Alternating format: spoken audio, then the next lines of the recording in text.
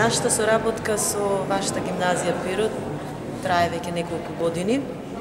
Јас не сум прв пат овде во оваа гимназија, значи доаѓам трет пат.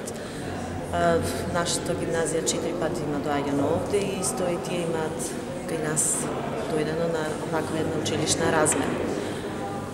Она што се остварува нели преку оваа ваква училишна размена на, на база на постоењето на француски билингвални паралелки, мислам дека е непроценлива за нашите ученици.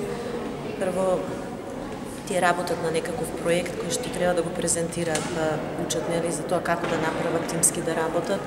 Потоа учениците од нашата гимназија кои ќе дојдат овде и тие вашите ученици кога доаѓаат кај нас може да ги видат иако имаме нели некоја слична култура, сепак има и некакви разлики кои што може нели да се научат и да се а, видат од а, тоа што тие нели заеднички ќе соработуваат во тие неколку дена кога се заедно.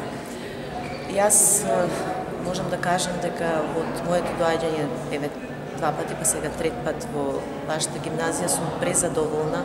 Гимназијата е прекрасна, со прекрасни луѓе, колектив кој што на вистина работи, функционира и кој што многу дава за за децата, за учениците, со многу најразновидни активности кои што ги реализираат во текот на нашето нели гостување тука кај вас во Пирот.